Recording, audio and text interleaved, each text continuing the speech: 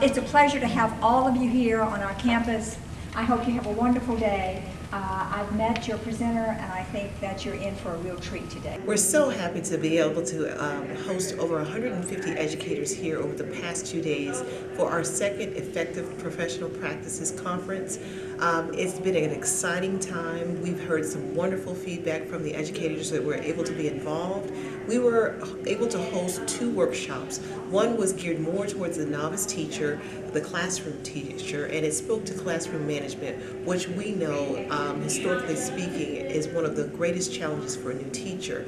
And thankfully, we were hearing from the teachers and the participants that they had some great takeaways to go and create their own highly effective, customized classroom management plan.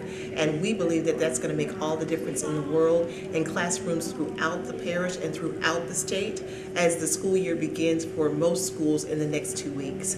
Also, we're hosting our educational leaders or instructional leaders from again throughout the state uh, from several parishes. They were able to come here and learn about the coaching cycle and how to become an instructional coach and also how to lead or supervise an instructional coach so that we're able to support those teachers that may not be so brand new but um, are having some difficulties or challenges in their classroom with coursework and to give them those instructional practices that are necessary and to become that partner in, uh, in partnering up for the success of our students.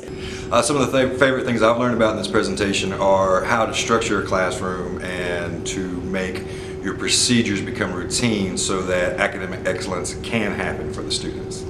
I plan on implementing what I've learned here today uh, by going home and creating my own set of procedures and rules for my class and introducing that the first day of, of, of school. That way the students know what they can expect of me and what I can expect out of them. Well, some of the things that I will immediately implement is uh, letting, allowing the teachers to set their own goals.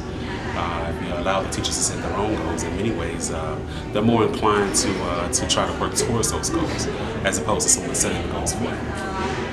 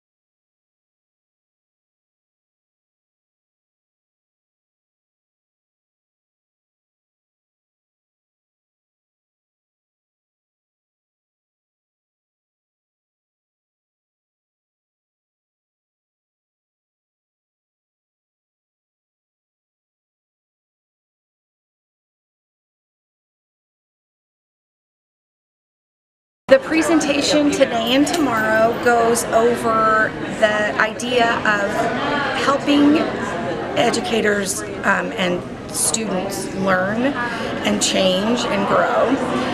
And it is in particular talking to educational leaders about what it is to help for change and some of the psychology and research behind that as well as Jim's partnership principles, which is basically to ground yourself in uh, equality and voice and choice, and then also to talk about um, what the coaching cycle looks like. So how do you take a teacher through the coaching cycle? How do you set a student goal? How do you know what strategies to use? Uh, how do you observe using video? And also tomorrow we'll spend quite a bit of time talking about um, scenarios, so different, different kind of dilemmas almost that educators can get themselves into and how we avoid those. And then we'll also talk about um, real communication skills and, and the best way to communicate with other educators. All right. Thank you for your time.